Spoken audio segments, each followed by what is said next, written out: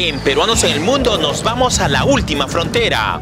Esta joven profesional se enamoró de las montañas de Alaska. Yo vine porque una de las razones era porque tú puedes comprar mucha tierra acá. Él se asegura que los edificios tengan la vista más clara de Anchorage. De todos los edificios altos, eso es lo que hacemos. Limpiamos todos los vidrios y aparte hacemos mantenimiento a los edificios. Y a bailar con las Newstars de Alaska. Bienvenidos a esta última frontera de América, Alaska.